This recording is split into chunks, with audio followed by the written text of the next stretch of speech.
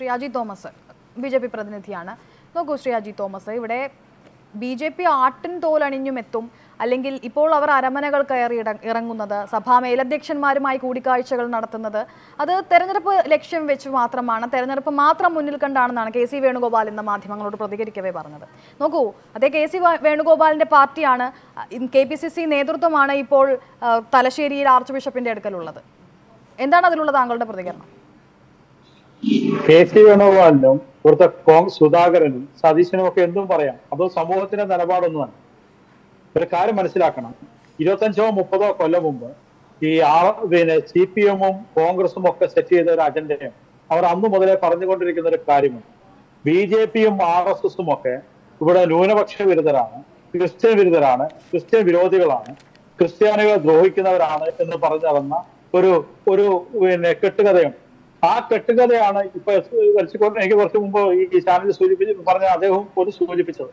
ഈ കെട്ടുകഥകൾ ഇങ്ങനെ പറഞ്ഞ് പറഞ്ഞ് പറഞ്ഞ് ഇങ്ങനെ കൊന്നുകൊണ്ടിരിക്കുക ഈ കെട്ടുകഥകളിൽ ഇവിടുത്തെ ക്രിസ്ത്യൻ സമൂഹത്തെ അല്ലെങ്കിൽ ഇവിടുത്തെ ന്യൂനപക്ഷങ്ങളെ കെട്ടിയിടാം അല്ലെങ്കിൽ തളച്ചിടാം എന്നുള്ള ഒരു ഒരു വ്യാമോഹത്തിലായിരുന്നു ഇവരൊക്കെ പോയിക്കൊണ്ടിരുന്നത്.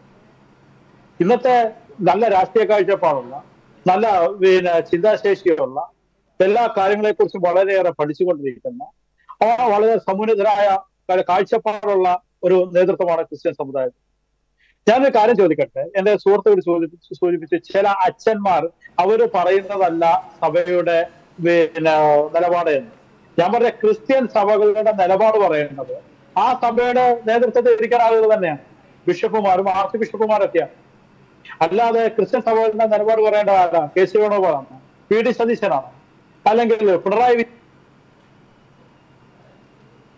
ശരി താങ്കളെ പൂർണമായും കേൾക്കാൻ സാധിക്കുന്നില്ല. താങ്കളിലേക്ക് മടങ്ങി വരാം ശ്രീ അജി തോമസ്. നോക്കൂ ഇവിടെ ശ്രീ അജി തോമസ് പറയാൻ ശ്രമിക്കുന്നത് എന്താണ്? ഇവിടെ സഭാമേലധ്യക്ഷന്മാർ അല്ലെങ്കിൽ ഇവിടെ ജോസഫ് പാംപ്ലാനി പറയുന്നത് അല്ലെങ്കിൽ ആലഞ്ചേരി പിതാവ് പറയുന്നത് അവരുടെ അഭിപ്രായമല്ല അത് ആ സഭയെക്കുറിച്ചുള്ള അല്ലെങ്കിൽ ആ വിശ്വാസികളുടെ ആകെ അഭിപ്രായമാണ് എന്ന് പറഞ്ഞു വെക്കാനാണോ അദ്ദേഹം ശ്രമിക്കുന്നത്? അങ്ങനെ ഒരു പ്രതികരണത്തിന് ആർക്കെങ്കിലും അവകാശമുണ്ടോ ശ്രീ വി സി ഉണ്ണിച്ചക്കൻ?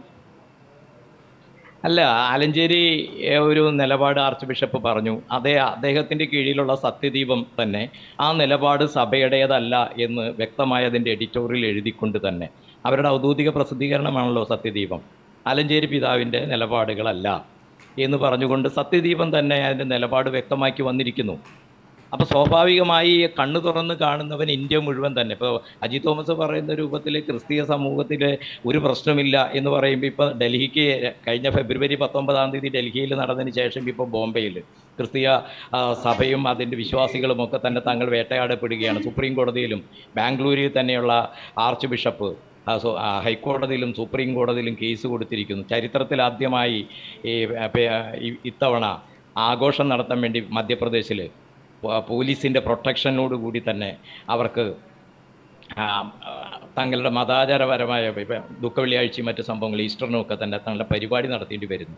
ഈ ഒരു പശ്ചാത്തലം കാണാതെയാണ് രണ്ടോ മൂന്നോ ബിഷപ്പുമാർ തീർച്ചയായിട്ടും മതമേലധ്യക്ഷന്മാരാണ് സാധാരണ രൂപത്തിൽ അവരുടെ നിലപാടുകൾ വ്യക്തമാക്കാറുള്ളത് യാതൊരു തർക്കമില്ല. പക്ഷേ ആ നിലപാട് വ്യക്തമാക്കി കഴിഞ്ഞപ്പോൾ തന്നെയാണ് സത്യദീപം എഡിറ്റോറിയലിലൂടെ ആലഞ്ചേരി പിതാവ് പറഞ്ഞതിന്റെ നിലപാടിനെ അതിശക്തമായി വിമർശിച്ചുകൊണ്ട് ഇന്ത്യ രാജ്യത്ത് നടക്കുന്ന ന്യൂനപക്ഷ വേട്ടയ്ക്കെതിരെ കണ്ണു തുറക്കേണ്ടതിന്റെ പ്രശ്നം പറയുന്നു അപ്പം മുൻകാലങ്ങളിൽ നിന്ന് വളരെ വ്യത്യസ്തമായി വിലക്കെടുക്കപ്പെട്ടവരോ അല്ലെങ്കിൽ ഭയപ്പെടുത്തി കീഴ് കീഴ്പ്പെടുത്തപ്പെട്ടവരോ ആയ ചില വിഭാഗങ്ങൾ. എന്ന് തന്നെ നമുക്ക് പറയേണ്ടി വരും. അത്തരം വിഭാഗങ്ങൾ പറയുന്ന ചില പ്രസ്താവനകളുടെ പിന്നാലെയല്ല എന്ന് പറയേണ്ടത്. പറഞ്ഞ എതിർ ശബ്ദങ്ങൾ പുറത്തു വന്നു കഴിഞ്ഞു എത്രയോ പിതാക്കന്മാർ. ഇപ്പോൾ ക്രിസ്തീയ സഭയുടെ തന്നെ ഔദ്യോഗിക വക്താവായിരുന്ന ഫാദർ തേലക്കാടിനെ പോലുള്ള ആളുകൾ ഇവരൊക്കെ തന്നെ തലശ്ശേ തലശ്ശേരി ബിഷപ്പിന്റെ സ്റ്റേറ്റ്മെന്റ് വന്ന ഉടനെ തന്നെ ഫാദർ തേലക്കാടിന്റെ സ്റ്റേറ്റ്മെന്റ് വന്നു എത്രയോ അച്ഛന്മാരുടെ സ്റ്റേറ്റ്മെന്റ് വന്നു. മുൻകാലത്ത് നമുക്ക് കേട്ടറിവുള്ള ഒരു സംഭവമല്ല. ആർച്ച് ബിഷപ്പുമാരോ അതേപോലുള്ള ആളുകൾ ഒരു പ്രസ്താവന ഇറക്കി കഴിഞ്ഞാൽ സഭയിൽ തന്നെ അതിന്റെ കീഴെയുള്ള അച്ഛന്മാരൊക്കെ പരസ്യമായി അതിന്റെ ഒരു നിലപാട് വ്യക്തമാക്കി കൊണ്ടുവരുന്നത്. അപ്പോൾ വർത്തമാന ഇന്ത്യയുടെ സാഹചര്യം ഒരു ഫാസിസ്റ്റ് ടേക്ക് ഓവറിലേക്ക് കാര്യങ്ങൾ പോവുകയും എല്ലാം തങ്ങളുടെ കീഴിലേക്ക് വരികയും ചെയ്യുക. ഇവിടെ മാത്രമാണ് ഇപ്പോൾ ഇന്ത്യന് ഇപ്പുറത്ത് വരുമ്പോഴാണ് പുതിയ നിലപാടുകളും ഒക്കെ വരുന്ന പച്ചച്ചിരിയുമായിട്ട് കടന്നു വരുന്ന ഒരു പൊതുസ്ഥിതിയാണ്. ഇപ്പോൾ കോൺഗ്രസ് ആയാലും മറ്റാളുകളും ഒക്കെ തന്നെ അരമന നിരങ്ങുന്നതിനെക്കുറിച്ച് വിമർശിച്ചു കൊണ്ടിരുന്ന ആളുകളാണ് ഇപ്പോൾ അരമന കയറി ഇറങ്ങുന്നത്. അപ്പോൾ ഒന്നുകിൽ തങ്ങൾ അന്ന് വിമർശിച്ചത് തെറ്റാണെന്നെങ്കിലും ബി ജെ പിയുടെ ആളുകൾ പറയണം. ഞങ്ങൾക്ക് അന്ന് തെറ്റ് പറ്റിപ്പോയി. അവർ ചെയ്തായിരുന്നു ശരി അതിന്റെ പിന്നാലെ ഞങ്ങൾ പോവുകയാണെന്നെങ്കിലും പറയണം.